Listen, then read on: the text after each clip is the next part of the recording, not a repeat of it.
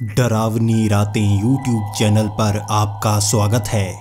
भूत, प्रेत, पिशाच और शैतानों की रोमांचक कहानी आपको इस चैनल पर सुनने को मिलती है।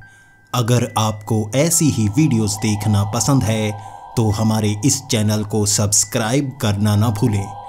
तो हेडफोन लगा लें, कमरे की लाइट्स ऑफ़ कर लें, क्योंकि ये वक्त हो रहा है डरने का।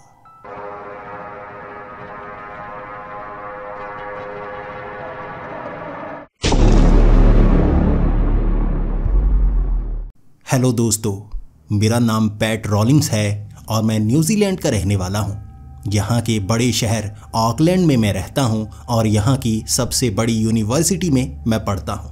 यहाँ पर बहुत मज़ा आता है। अपने दोस्तों के साथ घूमना, फिरना और एक यूनिवर्सिटी का मज़ा कॉलेज में नहीं मिलता। यहाँ पर आप हर तरह के काम कर सकते हैं और कई बार यूनिवर्सिटी की तरफ़ से आपको ट्रिप भी मिलते हैं। लेकिन वहाँ जाने का मज़ा असली नहीं होता। जो अपने दोस्तों के साथ कहीं खास जगह पर घूमने जाएँ, वो मज़ा वहाँ आता है।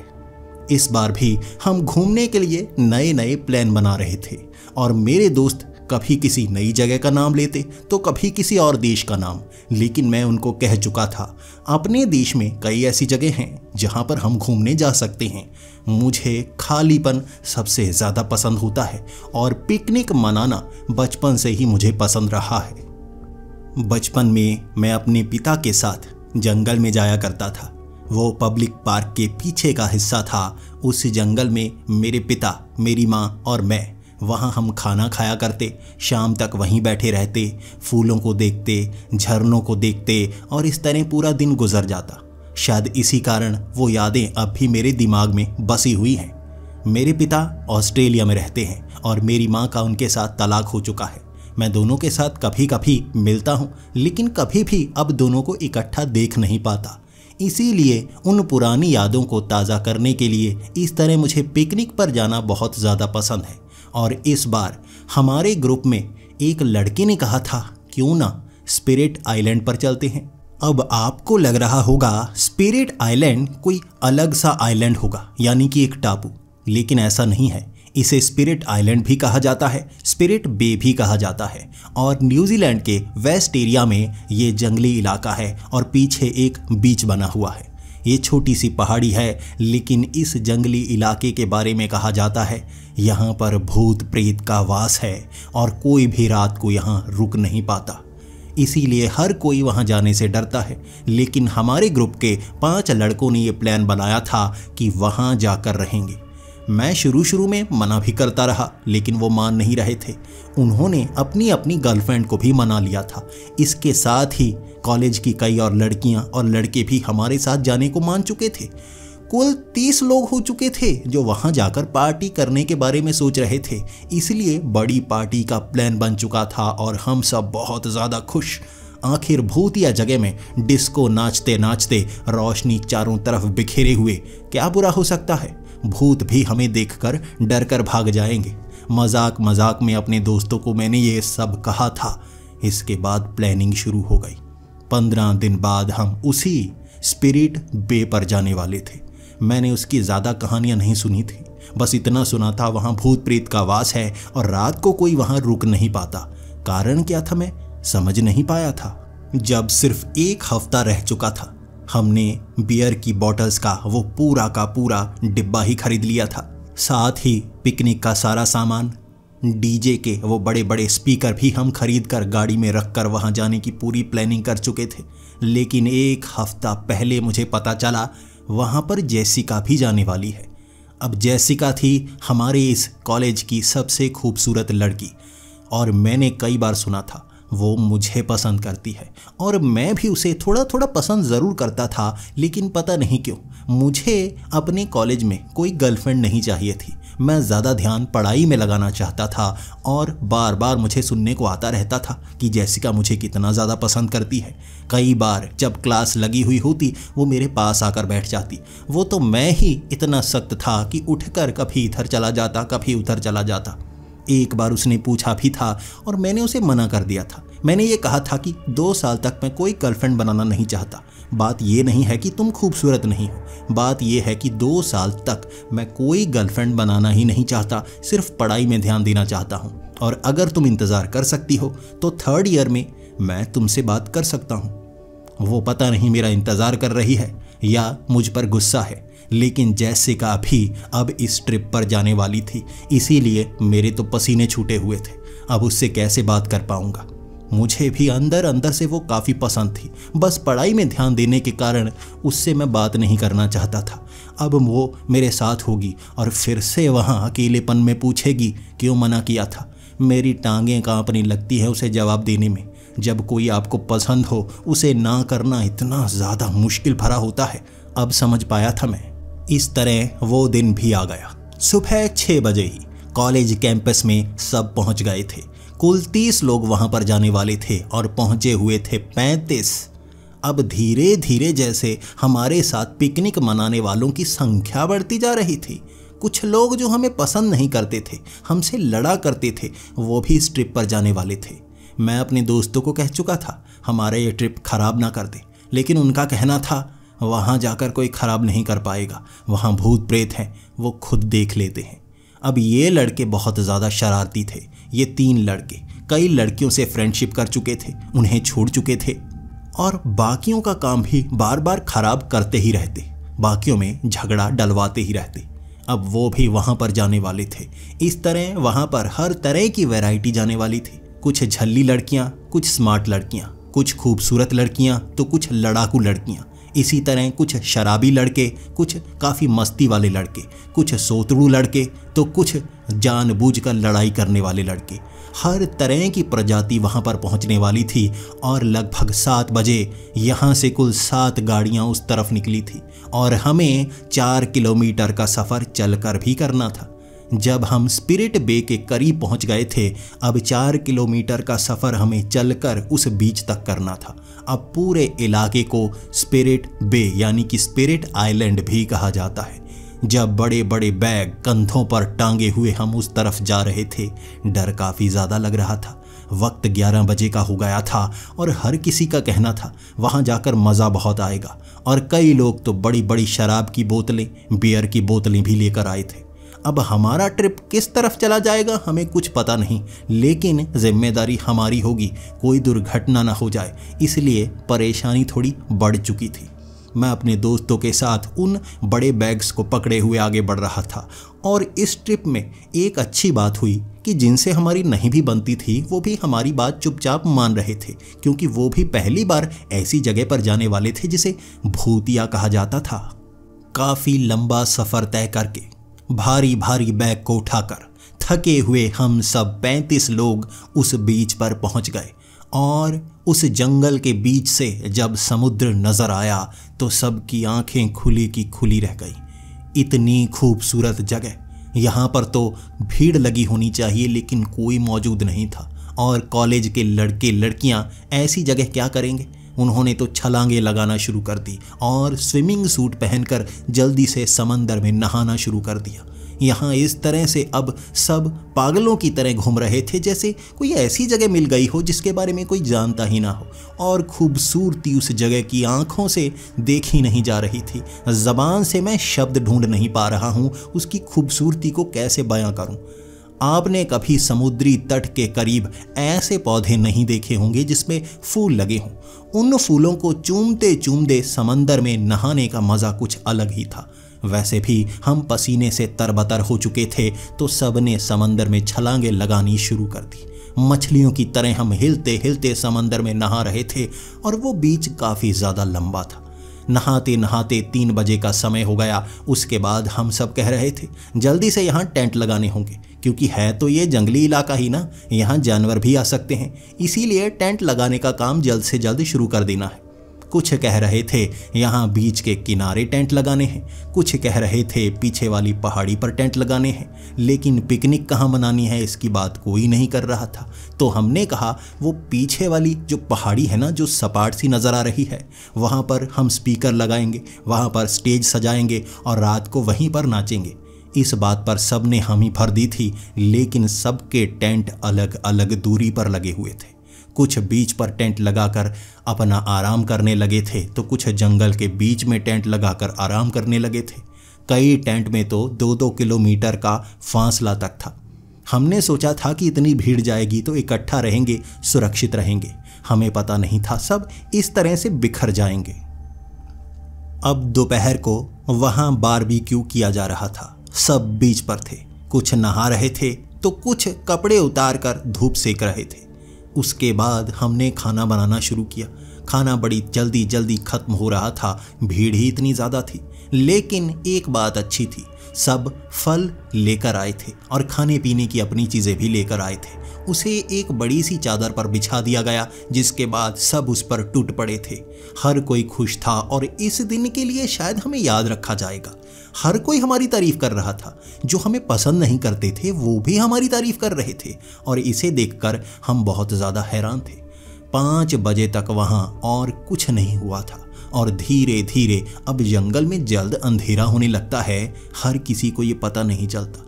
हम बार बार स्पीकर पर ये कहे जा रहे थे कि सब इकट्ठा हो जाए और इसके बाद हमें यहाँ पिकनिक मनाना है, रात को नाचना है और ये रात सबके लिए सबसे अच्छी रात रहेगी। काम करते करते मैंने जैसिका को देखा तक नहीं था। वो लड़कियों के साथ उस जंगल के बीच में टेंट लगाने में लगी हुई थी और अब साफ़ लग रहा था। वो मुझ पर गुस्सा थी। अमूमन वो मेरे करीब रहा करती और मुस्कुराती रहती। मुझसे बात करने की कोई ना कोई कोशिश करती ही रहती। अब तो वो मुझसे दूर थी और इतने समय से मेरे करीब तक नहीं आई थी। मुझे लगा, मुझसे थोड़ी गलती हुई है। मैं थोड़े ज़्यादा अकड़ में बोल गया था। उसे अगर ना ही करनी थी तो प्यार से की जा सकती थी। अब मैं सीधा पहुँचा था उस टेंट के पास। जैसिका उस टेंट में एक तरफ़ पेंटिंग कर रही थी। उसे देखते ही मैंने उसकी तारीफ़ की। वाह, कितनी खूबसूरत पेंटिंग करती हो। लेकिन उसने गुस्से में कहा हाँ कुछ लोगों को कुछ भी पसंद नहीं आता। मैं क्या करूँ? अब उसका गुस्सा भी जायज़ था तो मैं उसे मनाने में लग गया। अब लड़कों की हरकतें लड़कियों को पसंद आ ही जाती हैं। मैं वहाँ लेट लेट कर उसके सामने बेवकूफ़ियाँ कर रहा था और वो हंसने का नाम नहीं ले रही। मैंने ठाना हुआ था। उसकी हँसी तो निकाल कर ही रहूँगा। इसके बाद मैं एक पेड़ पर चढ़ गया और मैं कहने लगा, देखो अगर तुम मुझ पर गुस्सा रही ना, ऊपर से छलांग लगा दूँगा। अब एक साल बीत चुका है, एक साल और है। बस दो ही साल की इजाज़त मांगी है तुमसे। और वो कहने लगी, एक साल बहुत लंबा होता है, मरना है तो मर जाओ, कोई और मिल जाएगा। उसके बाद मैंने उस पेड़ से छलांग लगा दी और पीछे खाई थी। उसमें मैं सीधा पहुँचा और उसकी चीख निकल गई। अब पीछे एक छोटी सी झील बनी हुई थी। उसमें छलांग लगाई थी और जिस तरह से वो रोती हुई आई थी, उसने बयां कर दिया था। भूली नहीं है अभी मुझे। और जब उसने वो झील देखी और मुझे देखते ही कहने लगी, तुम पागल हो। और मैं भी समझ गया, कोई कुछ कहने की ज़रूरत नहीं है, मुझे मेरा जवाब मिल चुका है। और वो हंसती हुई गई थी। उसकी मुस्कुराहट ने सब कुछ बता दिया। और अब मुझे भी लग रहा था, भले ही मैं उसे गर्लफ्रेंड ना बनाऊँ, एक बेस्ट फ्रेंड तो बना ही सकता हूँ ना। इसमें वो भी खुश रहेगी, मैं भी खुश रहूँगा। वैसे भी अच्छे दोस्तों की आजकल बहुत कमी चल रही है। मेरे ये कमीने दोस्त खाने पीने के पैसे मुझसे लेते रहते हैं। देते वेते कुछ नहीं। आखिर ये सच्ची दोस्त बन गई, कुछ खाना तो बना कर लाया करेगी ना। इसके बाद मैं उसकी टेंट में पेंटिंग करने के साथ देता जा रहा था। इसके बाद हम में काफ़ी ज़्यादा बातें हुई। अब वक्त छः बजे का हो गया था। इसके बाद सब लोग एक जगह इकट्ठा होने लगे। इसके बाद एक लड़के ने कहा, यहाँ पर ज़्यादातर माओरी लोग रहा करते थे। और तुम्हें पता है, जो माओरी लोग होते हैं, वो इस तरह रात की पिकनिक मनाने से पहले भूतिया जगह पर एक खास अनुष्ठान करते हैं। हमें भी वो अनुष्ठान करना होगा। वो पीछे वाली जो खाई है ना, वहाँ पर पवित्र पेड़ लगे हुए हैं। उन पवित्र पेड़ों के पास हमें जाना चाहिए। अब मैं मना कर रहा था। ज़्यादातर हामी भर रहे थे कि पवित्र चीज़ों की पूजा हमें करनी चाहिए। जब कुछ लोग ऐसी बातों पर यकीन करते हों, बाकियों को भी यकीन करना पड़ता है। पैंतीस लोगों की भीड़ उस तरफ़ बढ़ चली थी। वहाँ एक छोटा सा झरना नुमा कुछ था और उसके पास ही जैसे पेड़ों का प्राचीन मंदिर सा बना हुआ था। जैसे ही हम उस मंदिर के पास पहुँचे, वहाँ काफ़ी ऊँची पहाड़ी थी। कदम भी देख देख कर रखने पड़ रहे थे। इसके बाद हम बस एक दूसरे पर नज़रें गड़ाए हुए, आखिर अनुष्ठान कैसे करना है? अब अनुष्ठान की बात जिसने की थी उसे ये पता नहीं था अनुष्ठान करना कैसे है। उसे बस ये पता था कि अनुष्ठान करना है। अब जैसिका को मैंने एक पेड़ के पास खड़ा किया था। वहाँ पर काफ़ी फिसलन थी तो मैंने कहा, इस पेड़ के पास खड़ी हो जाओ। यहाँ काफ़ी फिसलन है और किसी का पैर फिसला ना इस पहाड़ी से नीचे गिर सकते हैं। पता नहीं, ये बात ही मनहूस थी कि जब वो पूरी भीड़ आगे आग जलाने वाली थी तभी जैसिका की चीख निकली।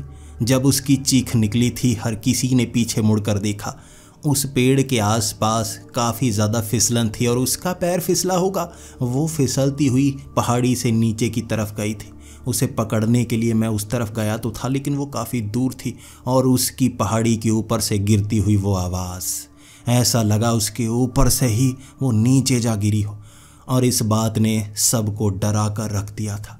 हर कोई चीख रहा था। लड़कियाँ तो सबसे ज़्यादा चीख रही थी कि जैसिका को क्या हुआ? और कुछ मुझ पर इल्ज़ाम लगा रहे थे। तुमने जैसिका का ध्यान नहीं रखा। जानबूझकर वहाँ पर खड़ा किया। मैं कह रहा था, अब तो उससे दोस्ती हुई है। अब मैं कोई ऐसी चीज़ थोड़ी ना करूँगा जिससे मेरी दोस्ती खराब हो जाए। सारी की सारी भीड़ नीचे पहुँची थी। उस जगह जाने का कोई खास रास्ता नहीं मिल रहा था। उस दिशा में हम गए तक नहीं थे। ये घने जंगल का रास्ता था और अंधेरा हो चुका था। टॉर्च की रोशनी में हम उस पहाड़ी के उस तरफ़ जाते ही रहे, जाते ही रहे और अंधेरे में डर था। ये इलाका भूतिया है किसी के साथ कुछ घटना हो गई, फिर क्या करेंगे? लड़कियों को ऊपर टेंट में ही छोड़ दिया गया और पंद्रह लड़के थे जो जैसिका को ढूँढने के लिए नीचे गए थे। सबका कहना था, जैसिका को चोट लगी होगी। जल्दी से जल्दी हमें जैसिका को ढूंढना होगा और हमें उसे अस्पताल ले जाना होगा। मैंने कहा, मैं जाने को तैयार हूँ। पिकनिक जाए भाड़ में। अगर जैसिका को कुछ हो गया ना, सबसे ज़्यादा बुरा मुझे लगेगा। जैसे ही हम पहाड़ी से नीचे उतरे थे, आधे घंटे बाद नीचे हमने देखा कि झील में एक तरफ़ जैसिका लेटी हुई थी। उसकी एक बाजू पर जरा सी खरौच थी और वहाँ पर मुस्कुराकर वो कह रही थी, आ गए? इतनी जल्दी आ गए? मेरी बाजू से काफ़ी खून बह रहा है। और मैं हैरान था। तुम इतनी ऊपर से गिरी हो, मैं तो डर ही गया था। तुम्हें ज़्यादा चोट नहीं लगी? और वो कहने लगी अच्छा ज़्यादा चोट लगना चाहिए थी। अच्छा मेरा सर फट जाना चाहिए था। वो तो नीचे झील थी, सीधा पानी में गिरी, और उसके बाद मुझे लगा कि अब मैं गई। लेकिन जब देखा ज़्यादा चोट नहीं लगी थी, बस बाजू पर थोड़ी सी खरोंचें आई हैं।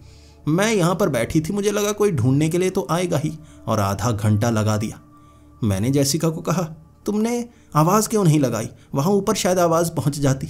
उसने कहा, आवाज़ें तो बहुत लगाई, लेकिन मेरा गला भी बैठ गया आवाज़ें लगाते लगाते। इसलिए अब तो बोला नहीं जा रहा। अब चलो, जल्दी से मुझे लेकर ऊपर चलो। किसी के पास फ़र्स्ट एड किट है या नहीं? मैंने कहा हाँ मेरे पास है। खास चीज़ थी जो सबसे पहले मैं लेकर आया था। इस तरह जैसिका को गोद में उठाकर मैं ऊपर लेकर जा रहा था। और कुछ लड़के बार बार मुझ पर तंज कसे जा रहे थे। कि इनमें बात तो है, बस छिपा कर रखते हैं। और ये बातें सुनकर जैसिका बार बार मुस्कुराती जा रही थी। और मैं भी शर्मा रहा था। मेरी कभी कोई गर्लफ्रेंड नहीं बनी थी। ज़्यादा मेरा ध्यान पढ़ाई में रहता था। और इस तरह से जैसिका को गोद में उठाया हुआ था तो मेरे दिल में भी पता नहीं क्यों लड्डू फूटे जा रहे थे। जैसिका के घुटने में भी चोट लगी थी। तो उसे उसके टेंट में छोड़ने मैं ही गया था। जब मैंने जैसिका को टेंट में छोड़ा तब उसने मेरी बाजू पकड़ ली। मुझे लग रहा था वो काफ़ी ज़्यादा रोमांटिक हो रही है क्योंकि वहाँ पर और कोई मौजूद नहीं था। लेकिन जैसिका ने मेरी बाजू पकड़कर कहा रुको तुमसे एक बात करनी है। मैं थोड़ा शर्मा रहा था और मैंने उससे कहा हाँ हाँ बा, बाहर करते हैं ना? तभी उसने मेरी तरफ़ घूर के देखा और कहा चुप कर जाओ खास बात है। जब मैं नीचे गिरी थी ना वहाँ झील में मेरे सिवा कोई और भी मौजूद था। मैं उसकी बातें सुनकर हैरान सा हो गया। और भी मौजूद था। क्या था और? वो कहने लगी, पता नहीं, वो जैसे पूरी तरह से परछाई से बना हुआ कोई इंसान सा था।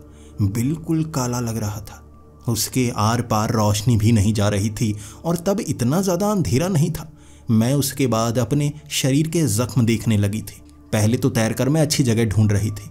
मुझे 10 से 15 मिनट इसी में लग गए। उसके बाद मैं शरीर की चोट को देखने लगी और वो मुझे दो जगह दिखा था। मैं घबरा सी गई थी, लेकिन चोट लगी थी, मैं भागना नहीं चाहती थी।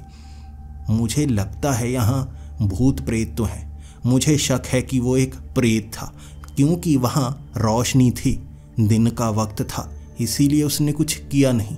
मुझे डर है यहाँ रात को वो प्रेत और लोगों को भी नज़र आएगा। तब मैंने जैसिका को कहा था ठीक है, नज़र आए तो क्या हुआ? जैसे तुम्हें नज़र आया, बाकियों को नज़र आएगा। सब खुद ही जान जाएँगे, भागेंगे यहाँ से फिर। तब जैसिका कहने लगी, मुझे बाकियों की फ़िक्र नहीं है। तुम अपना ध्यान रखना। फिर मैं जैसिका को छोड़कर बीच साइड पर चला गया। वहाँ काफ़ी सामान रखा हुआ था। अब हमें स्टेज का काम भी करना था। दो तीन लड़के उस स्टेज के काम को करने में लगे तो हुए थे, लेकिन सामान थोड़ा यहाँ पर भी पड़ा था। इसके बाद लगभग आधा घंटा हमने और काम किया और उसके बाद एक चीख ने सबको डरा कर रख दिया। ये उन शरारती लड़कों की चीख थी। उस चीख को सुनकर पहले तो मुझे लगा वो प्रैंक कर रहे होंगे। आखिर इस तरह लड़कियों की तरह कौन चीखता है? उसके बाद वो लड़कियाँ तो समझने लगी थी कुछ गड़बड़ है। भाग कर वो वहाँ पर पहुँची और उनकी चीखों ने बाकियों को डरा दिया।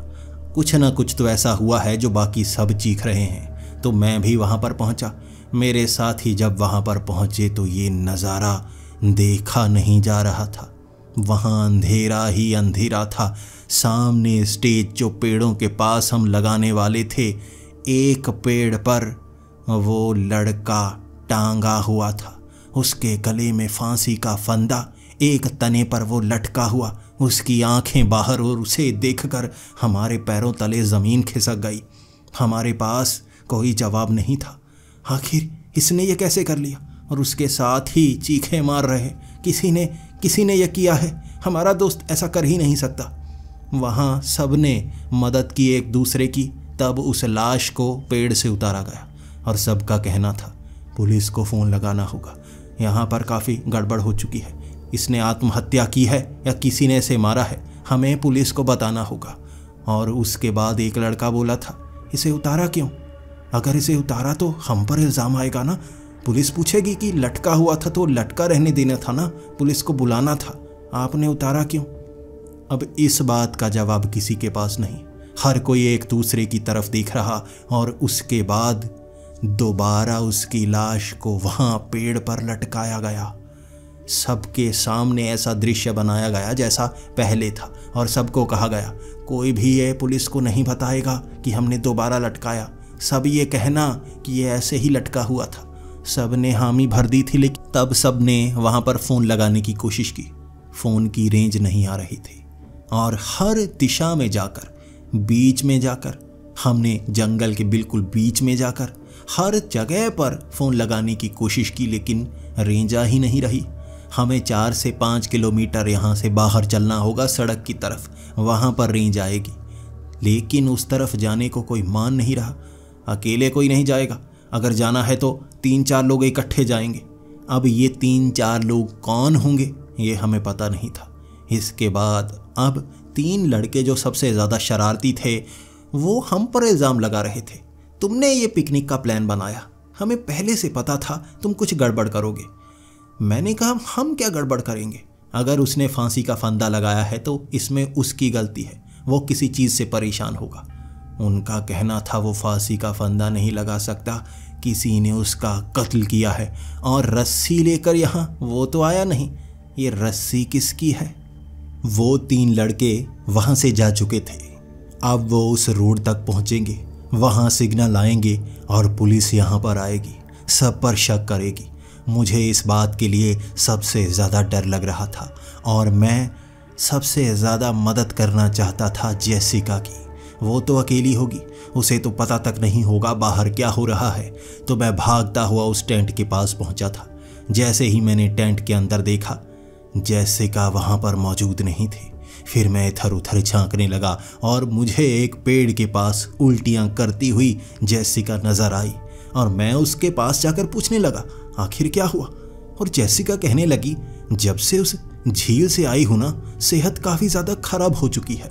ऐसा लग रहा है जैसे पेट में कुछ पच ना रहा हो। उस झील से थोड़ी थोड़ी बदबू तो आ ही रही थी, और वो प्रेत भी उस झील में देखा था। लेकिन सब लोग चीखें क्यों मार रहे थे, बताना जरा? मैंने उसे सब कुछ बताया, और वो भी डर चुकी थी। अब वो मुझसे वादा मांग रही थी कि मेरे साथ रहना। मैंने उस प्रेत को देखा है। मुझे लगता है वो मेरे साथ कुछ भी कर सकता है, क्योंकि सबसे पहले मैंने उसे देखा था। हम सबको यहाँ से निकलना होगा। मैं उसे समझाता रहा, ये उस लड़के की खुदकुशी खुद के द्वारा की गई होगी। किसी प्रेत का इसमें हाथ नहीं हो सकता, और जो तुम्हें नज़र आया, क्या पता वो सच में कोई प्रेत था या किसी किसी जानवर की परछाई नज़र आई हो? वो मानने को तैयार नहीं थी, लेकिन मुझसे दूर जाना नहीं चाहती थी वो। इसके बाद चीख पुकार ने फिर से सन्नाटे को जैसे चीर कर रख दिया था। लड़कियाँ चीख रही थीं और वो चीख कर पहाड़ी के ऊपर भागती आई थीं। बीच पर अब कोई नहीं था। वहाँ से भागकर वो ऊपर आ रही तो सब उनसे पूछ रहे थे, आखिर उन्होंने ऐसा क्या देख लिया? उन्होंने कहा, वहाँ खून देखा। बीच की एक तरफ़ खून की लंबी सी धार बनी हुई थी। ऐसा लग रहा था जैसे किसी जानवर को मारा गया हो और खून इस तरह से बिछा हुआ था कोई खींच कर उसे लेकर गया हो। हम लगभग दस लड़के, तीन लड़कियाँ उस तरफ़ जा रहे थे और जैसिका को मैंने टेंट में ही छोड़ दिया था। उससे चला नहीं जा रहा था और उसे चक्कर भी काफ़ी ज़्यादा आ रहे थे। उसका चेहरा पीला फिरने लगा था। अब पहले तो ये देख कर आते हैं, अगर कुछ गड़बड़ हुई, उसके बाद सब के सब सड़क की तरफ़ निकलेंगे। हम इकट्ठे जाएँगे तो कोई खतरा नहीं होगा। मैंने ये ठान लिया था। मेरे दोस्त भी मेरी बात मान चुके थे, लेकिन एक बार बीच पर देख कर आना चाहते थे। हाथ में चाकू लिए हम उस दिशा में जा रहे थे, और जब हम उस जगह पर पहुँचे, सच में उस रेत पर खून के निशान थे। ऐसा लग रहा था किसी जानवर का खून बहा हुआ हो। उसकी धार उस जंगल के एक तरफ़ जा रही थी। हम सब टॉर्च की रोशनी मारते हुए उस जगह पहुँचे थे, और वहाँ पर जो देखा एक लड़की रायली अपनी सहेली की गले को खा रही थी। उसके मुँह में खून लगा हुआ और उसने गर्दन में अपने दांत गड़ाए हुए एक बाजू को आधा काट रखा था। उसकी सहेली की लाश पड़ी थी जिसे वो खा रही थी। ये देखते ही हम सब के पैर कांपने लगे और वो हमारी तरफ़ जब भागी, हम भी वहाँ से दूर जाना चाहते थे। वो दो पैरों पर नहीं भाग रही थी। जानवरों की तरह चार पैरों पर भागकर हमारा पीछा कर रही थी। हम वहाँ से ऐसे भागे कि कुछ जिस दिशा में आसान लगा वहाँ भागने लगे। मेरे दो साथी एक तरफ़ भागे, मेरा एक साथी एक साथ था, बाकी तो पहाड़ी के ऊपर की तरफ़ भागे। मैं बीच की तरफ़ भागा था, मेरा साथी मेरा हाथ पकड़े हुए काफ़ी ज़्यादा डरा हुआ। वो मेरा साथ चाहता था क्योंकि उसे डर लग रहा था। ये भूतिया जगह है, यहाँ कुछ भी हो सकता है। प्रेत आत्माएँ अपने शरीर को पकड़ लेती हैं। कहते हैं कि शापित चीज़ जो यहाँ पर मिलती है, अगर वो आपके साथ हो तो वो शाप सबको मारता है। लेकिन हमने कोई भी ऐसी चीज़ को अपने पास रखा नहीं था। मैं सोचे जा रहा था, कौन सी शापित चीज़ हो सकती है जो हमारे साथ है? वो लड़की हमारा ही पीछा कर रही थी, मैं और मेरा साथी। समंदर के पानी में छलांग लगा चुके थे और अंधेरे में ज्वार भाटा। पानी बार बार उछाल मारे जा रहा था और हमें तट पर फेंक देता और उस लड़की ने मेरे साथी की टांग पकड़ ली। वो पागल हो चुकी थी। टांग पर दांत कड़ाए जा रही और मेरा साथी चीखे मारे जा रहा। उसके बाद अपने दोस्त को बचाने की मैंने कोशिश की। उस लड़की को मैं समझा रहा था, तुम कर क्या रही हो? लेकिन वो पागल कुत्ते की तरह काटे जा रही थी। तब मेरे हाथ में एक चाकू था और उस चाकू को सिर्फ़ मैं उस पर वार करने के लिए ही इस्तेमाल कर सकता था। मैंने दो बार उसकी पीठ पर वार किए और वो झल्लाने लगी और मेरे साथी ने भी ये मौका देखकर उसकी गर्दन में चाकू गड़ा दिया। वहीं पर खून की लहरें उसकी गर्दन से उठने लगी थी और वो अंधेरे में भाग गई। गर्दन में चाकू लगा है फिर भी भागने की वो हिम्मत उसने कैसे दिखा दी? तब मेरा साथी काफ़ी ज़्यादा खून बहने के कारण थक चुका था और कमज़ोर हो चुका था और कहता जा रहा था, हमें इस इलाके से बाहर निकलना होगा। ये जगह ही शापित है। कोई ऐसी चीज़ जो यहाँ से ली है यहीं पर छोड़ जाना। जब तक वो साथ रहेगी, तब तक मौत का मंजर होगा। यहाँ की कहानियाँ तुमने सुनी नहीं है। मैं उसे घसीटता हुआ उस जंगल की पहाड़ी के ऊपर ले जा रहा था। वहाँ जैसे धुंध धुआँ सा घिरने लगा था और दूर तक देखा नहीं जा रहा था। जानवरों के चीखने की आवाज़ें ऐसी थी जैसे इंसान चीख रहे हों। ये आवाज़ें डरा रही थी और मेरा साथी उन कहानियों से। इसे स्पिरिट बे कहा जाता है। कहते हैं कि यहाँ लाशें नज़र आती हैं समंदर में। दूसरी दुनिया की लाशें ये इलाका ही शापित है जहाँ लोगों की मौतें हुआ करती थी। कहते हैं कि इस जंगल से जो चीज़ आप जेब में रख लो या अपने पास ले लो, जो इस जंगल की है, जब तक आपके साथ रहेगी, शाप बनकर आपको मौत के करीब ले जाती जाएगी। किसी ना किसी ने तो यहाँ से कुछ कीमती, कुछ ज़रूरी लिया होगा। वो बस हमें मार रहे हैं। जब मैं अपने दोस्त को उस पहाड़ी के ऊपर ले जा रहा था। भागते हुए दो लड़के नीचे आए थे और चीखते चीखते कह रहे थे, ऊपर ऊपर टेंट को किसी ने आग लगा दी। दो लड़कियों को टेंट के बीच ही, उन गद्दों के बीच बाँध कर जला दिया किसी ने। और ये सुनकर मेरे पैरों तले ज़मीन खिसक गई थी। मेरा साथी जो अधमरा हो रहा था, वो कहने लगा था, चलो यहाँ से चलो यहाँ से। यहाँ रुके तो मारे जाओगे। मैं जल्दी से अब उस पहाड़ी के ऊपर ही पहुँचना चाहता था। मुझे पता था खतरा बहुत ज़्यादा है, लेकिन मैं अपने साथियों को ढूंढ रहा था, चीख रहा था, चिल्ला रहा था। मैं जैसिका का नाम भी लिए जा रहा था। कहाँ है वो? मुझे उसे अपने साथ तो लेना ही होगा ना? मैं ऊपर पहुँच रहा था और वहाँ भागते हुए, चीखते हुए कई लोग मिलते। मुझे मेरे साथी नज़र नहीं आए। अब तो अपने साथियों के साथ बस बाहर निकलना था और मेरा दोस्त, जो खून से लथपथ था, लगभग बेहोश हो जला था। उसका शरीर ठंडा फिरने लगा था क्योंकि खून काफ़ी ज़्यादा बह चुका था। मैं बस उस पहाड़ी के शिखर के करीब पहुँचा और वहाँ धुआँ धुआँ होते वो टेंट दिखे थे जिसमें एक टेंट जैसिका का भी था। ये सोचकर मेरे हाथ काँप गए थे। कहीं वो लड़की जो जल कर मरी, जैसे का तो नहीं। रोने लगा था और अपने साथी को वहीं पर छोड़ उन टेंट को मैं आग बुझाने की कोशिश कर रहा था। मैं लकड़ियों से टेंट को इधर उधर फेंक रहा। उसके बाद बड़ी मुश्किल से मिट्टी डालकर उस आग को थोड़ा बुझाया। आसपास किसी से बात करने की कोशिश की, लेकिन वो धुआँ इतना ज़्यादा था, कुछ नज़र नहीं आ रहा था।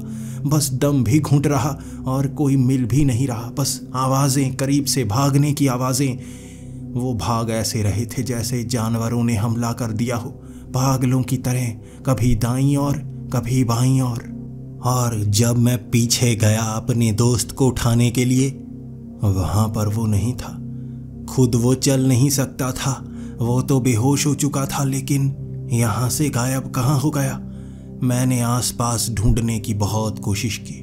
पेड़ों के आसपास मैं देखता रहा, लेकिन ज़मीन पर बस खून के निशान उसका पीछा करने लगा था। जैसे कोई उसे खींच कर ले गया हो। मुझे लगा कोई ना कोई होगा ना, जो मदद करने के लिए उसे भी खसीट कर ले गया होगा। लेकिन ये खून के निशान नीचे समुद्री तट की तरफ़ थे। काफ़ी देर तक खून के निशानों का पीछा करता रहा, उसके बाद फटे हुए कपड़े मिले और एक जगह बहुत ज़्यादा मांस के टुकड़े।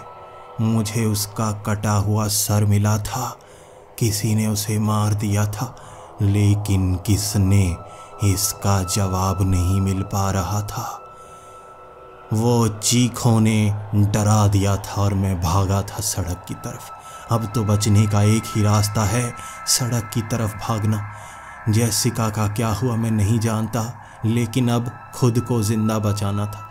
मैं सड़क की तरफ़ भागना शुरू हो गया और जैसे ही मैं एक पेड़ के पास पहुँचा, वहाँ पर गिरी हुई जैसिका मिली मुझे, जिसके पैर पर रस्सी बांधी हुई थी और उसे पेड़ से बांधा था किसी ने। जैसिका को देखकर मैं कहने लगा था, क्या हुआ? जैसिका के सर पर चोट लगी हुई थी, उसके कपड़े फाड़ दिए गए थे। जैसे किसी ने उसे जानवरों की तरह नोचने की कोशिश की हो। तब जैसिका भी लगभग बेहोश होने की हालत में कह रही थी, कोई है कोई है जो शरीर के अंदर घुस रहा है, जैसे शरीर के अंदर घुस रहा है, और जिसे तुम अपना समझ रहे हो, वो भी हमला कर रहा है। मेरी सहेली, वो मुझे यहाँ बाँध कर गई, और वो कह रही थी, तुम्हें खाने के लिए वो आएगा, मुझे जल्दी खोल दो। उसके पास जान नहीं थी। उसकी उंगलियों पर जैसे पत्थर मारे गए थे, उसकी उंगलियाँ दर्द कर रही थी। मैंने वो रस्सी की गांठ खोली और आसपास से वो कराहने की आवाज़ें, चीखने की आवाज़ें, दर्द की आवाज़ें, ये हालत पतली कर देती हैं। जैसिका को मैंने उठाया और उसके पाँव काम नहीं कर रहे थे। जैसे उसकी टांगे दर्द कर रही हों और उसने कहा, मुझे उठा कर ले जाओ। ये तो अच्छा हुआ उसका वज़न कम था, वो पतली थी। मैंने उसे उठा लिया। फिर से गोद में उठाकर मैं भाग रहा था। मैं पहले से ही थका हुआ था और मुझे सड़क तक पहुँचना था। मैं ये जानता था कि वो तीन लड़के सड़क पर पहुँच गए होंगे। उन्होंने पुलिस को बुला लिया होगा, लेकिन पुलिस के आने से पहले पहले वहाँ पर पहुँचना है और बचने की हर कोशिश करनी है।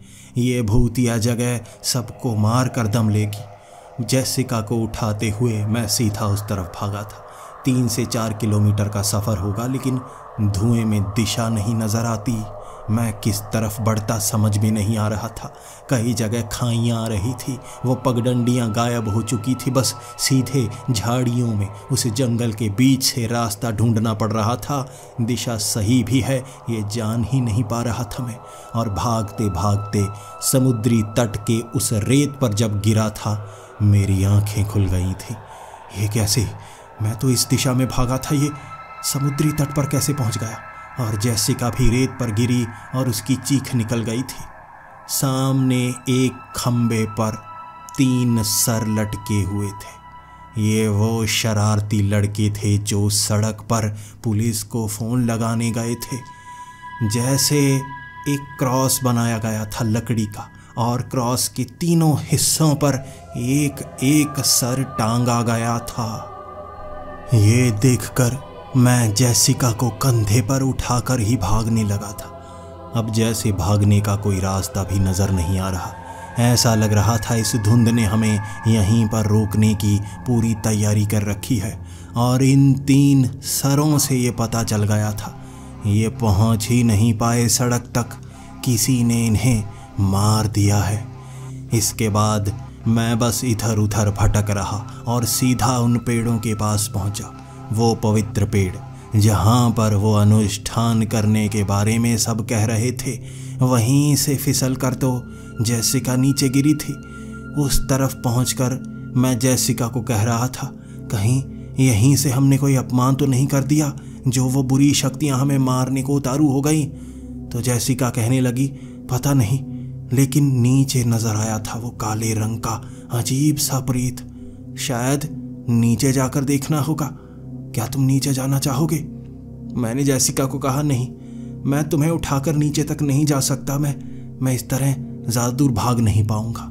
शायद कोई ना कोई हमें पकड़ ले, और अब तो आवाज़ें आना भी बंद हो चुकी हैं। कोई चीखने की आवाज़ नहीं थी जैसे हर तरफ़ सन्नाटा। यह बयां कर रहा था कि हमले हो चुके हैं, मौतें हो चुकी हैं, और अब सिर्फ़ जैसे हम ही बचे हों। जैसिका को गले से लगा लिया था मैंने और कहा था, जैसिका, मुझे लगता है, मुझे लगता है हम मरने वाले हैं, और मैं तुम्हें बताना चाहता हूँ, मैं सच में तुम्हें पसंद करता था। बस मुझे माफ़ करना, मैं पढ़ना चाहता था। तुम्हें मना करने का मुझे बिल्कुल शौक नहीं था, मैं तो तुम्हारे साथ पूरी ज़िंदगी बिताना चाहता हूँ। जैसिका ने भी मुझे गले से लगा लिया और कहा, हमें वहाँ जाना होगा जहाँ कोई ना जा सके। आखिर एक प्रेत जहाँ से निकला हम वहाँ चलते हैं। शायद उसे पता ना चले और ये रात गुजर जाए। यहाँ दिन के वक्त कोई घटना नहीं होती। रात को प्रेत नज़र आते हैं। अब मैं जैसिका के साथ उस पहाड़ी से नीचे उतरने लगा था, उस झील की तरफ़। वहीं पर जैसिका गिरी थी और नीचे उतरते उतरते कई बार मैं गिरता। जैसिका का खून भी काफ़ी ज़्यादा बह चुका था और मुझे डर था वो भी बच नहीं पाएगी। मुझे भी काफ़ी ज़्यादा चोट लग चुकी थी। अब मौत दिखने लगी थी सामने। बस दर्द ना हो, ये सोच रहा था मैं। जब जैसिका को लेकर मैं नीचे की तरफ़ जा रहा था, जैसिका लगभग बेहोश ही हो चली थी। बस मेरे कान में बोल पा रही थी वो बार बार अजीब अजीब सी बातें करने लगती। उसका दिमाग भी घूमने लगा था और मैं रोता रोता नीचे पहुँचा था। उस झील के पास काले रंग का साया सामने नज़र आया था। वो मुझे भी दिख रहा था और जैसिका कहने लगी थी, वो वो तुम्हें देख तो नहीं चुका? अगर उसने तुम्हें देख लिया, वो हमारे पीछे आएगा। जल्दी भागो। मुझे लगा था वो ऊपर सबको मार रहा होगा तो हम यहाँ बच जाएँगे। हमें भागना होगा। और मैं अब जान चुका था, भागने से फ़ायदा नहीं होगा। अब मुकाबला करने का वक्त है। मौत तो एक न एक दिन सबकी आनी है। लड़कर मरे शायद बचने का मौका मिल जाए। जैसिका को पेड़ के पास लिटा दिया था मैंने, और उसके बाद मैं आगे बढ़ रहा था उस काले साये की तरफ़, और वो काला साया मुझसे दूर जाने लगा था। मैं भागकर उसका पीछा करने लगा। डरता क्यों है? जब सबको मार चुका है तो मुझे भी मार, वरना मैं तुझे खत्म कर दूँगा। वो आगे आगे भागने लगा और मैं उसके पीछे पीछे, तभी एक गुफा के पास, वहाँ लकड़ी का पूरा मंदिर बना हुआ था। ऐसा लग रहा था जैसे अनुष्ठान करने के लिए बनाया गया हो। तो इसका मतलब वो मंदिर ऊपर नहीं नीचे है और लकड़ियों की जिस जगह को हम प्राचीन पवित्र जगह मान रहे थे, वो असल में नीचे बनी हुई है। बिल्कुल उनके नीचे वाली वो जगह, जहाँ से जैसे का गिरी थी, और वो काला साया वहीं रुक गया, और मैं जब उसके करीब गया तो वो काला साया बोल सकता था, तुम मुझे देख सकते हो, मेरा पीछा मत करो, चले जाओ यहाँ से, मरना नहीं चाहते तो भाग निकलो। मैंने कहा अब तुम सबको मार ही रहे हो। मुझे पता है बचने का कोई रास्ता नहीं। उसने कहा, मैं कहाँ मार रहा हूँ? ये भूतिया जगह सबको मारती है। यहाँ हर कोई एक दूसरे को मारता है जब तक तुम्हारे साथ वो रहता है। मैंने कहा, साथ वो रहता है? कौन रहता है? उसने कहा, वो जो इस जगह पर शाप से बंधा हुआ है। अगर वो तुम्हारे साथ आ जाए तो वो लाशें बिछा देता है। जिसे लेकर गए हो, उसे वहीं छोड़ दो, तभी ज़िंदा बच सकते हो। उसकी बातें मैं समझ नहीं पा रहा था, किसे लेकर गया हूँ? मेरा साथी भी कह रहा था, यहाँ चीज़ें शापित हैं, उसे पास में नहीं रखना चाहिए। कौन सी चीज़ लेकर गए हम? उसने कोई जवाब नहीं दिया। वो चुप था। बस वो कह रहा था, मेरे साथ भी पाँच साल पहले यही हुआ था। बस, जो मेरे साथ हुआ मैं वो बयां कर सकता हूँ। यहाँ की सच्चाई तुम्हें खुद जाननी होगी। मेरी कहानी जानना चाहते हो तो वो मैं बता सकता हूँ। कौन था मैं? कहाँ से आया था? कैसे मारा गया? चाहते हो जानना? मैंने कहा, नहीं नहीं, मुझे ज़िंदा बचना है। मुझे कोई कहानी नहीं जाननी। मैं पीछे की तरफ़ भागा था और तभी मेरी नज़र उस झील की एक तरफ़ पड़ी। ऊपर से ही तो जैसिका गिरी थी। और उस झील की एक तरफ़ पेड़ के ऊपर एक तीखी निकली टहनी पर जैसिका की लाश लटक रही थी। उसे देखकर मेरी आँखें फटी की फटी। अगर जैसिका वहाँ है तो वो कौन है जो मेरे साथ है, जिसे मैं उठाकर घूम रहा हूँ? जैसे ही मैं उस पेड़ के पास पहुँचा, वहाँ भी जैसिका थी और जैसिका हल्की सी आवाज़ में चलो चलो जल्दी से निकलो, मुझे यहाँ मत छोड़ो। मैंने देखा वो काला साया आया था मारने के लिए। तुम आ गए, मैं बच गई, वरना वो मार देता मुझे। अब मैं इतना घबराया था कि यकीन नहीं कर पा रहा था। तभी मैंने जैसिका को कहा, जैसिका, तुम्हें याद है हम पहली बार कहाँ मिले थे? जैसिका लड़खड़ा कर कहने लगी, नहीं नहीं, मुझे वो बातें नहीं करनी। चलो यहाँ से उठाओ मुझे मुझे ज़िंदा बचना है। मैं तुमसे बहुत प्यार करती हूँ। मैंने जैसिका को कहा, जैसिका मुझे बताओ हम पहली बार कहाँ मिले थे। बताओ मुझे, जैसिका की आवाज़ काँप रही थी। कहाँ मिले थे? कॉलेज में मिले थे। मेरा सर घूम रहा है। मुझे कुछ याद नहीं आ रहा। मुझे अब सब कुछ समझ में आ रहा था। जैसिका तो ऊपर से गिरते ही शायद पेड़ पर मर गई होगी। और जिसे यहाँ से उठाकर हम लेकर गए, वो जैसिका थी ही नहीं। अब मैं कदम पीछे हटाने लगा था और जैसिका की आँखें खुल गई, जैसे उसे दर्द होना बंद हो गया, वो खड़ी हो चुकी थी, उसकी टेढ़ी मेढ़ी सी टांगें और पिघलता हुआ उसका चेहरा। वो पारदर्शी सी दिखने लगी थी धीरे धीरे उसके बाल झड़े और जैसे पानी का बना हुआ इंसान मेरे सामने खड़ा था। ये वो था जिसे शाप है इस जगह पर। ये मौत को यहाँ दहशत बनाकर रखता है। उसने तब मुझ पर छलांग लगाई थी और मेरे एक दोस्त का रूप बनाकर मेरे गले को तब तक घोंटता रहा, जब तक मेरी साँसें नहीं रुक गईं। लाशें ही लाशें थीं और मेरी आँखों के सामने अंधेरा हुआ और फिर जब मेरी आँख खुली, मैं उस गुफा के बाहर था। शरीर मेरा काला फिर चुका था। पूरी तरह से काला शरीर और मैं खुद से बात कर पा रहा था। मेरे शरीर के अंदर से कई आवाज़ें अलग अलग नाम मेरे साथी जैसिका अलग अलग नाम एक ही शरीर में सब मरे एक शरीर में बंध चुके थे। शाप में, यहाँ भूत या जंगल में मैं अब भी घूमता हूँ। और एक ऐसा इंसान जिसने यहाँ किसी चीज़ को उठाया नहीं, उसे एक कहानी बयां की है मैंने। बाहर जाकर बता देना, स्पिरिट बे में कदम मत रखना रात को कोई। मौत का मंजर होता है यहाँ पर और किसी पर भरोसा नहीं कर पाओगे। अगर तुम ज़िंदा रहे तो इस कहानी को सब तक पहुँचाना।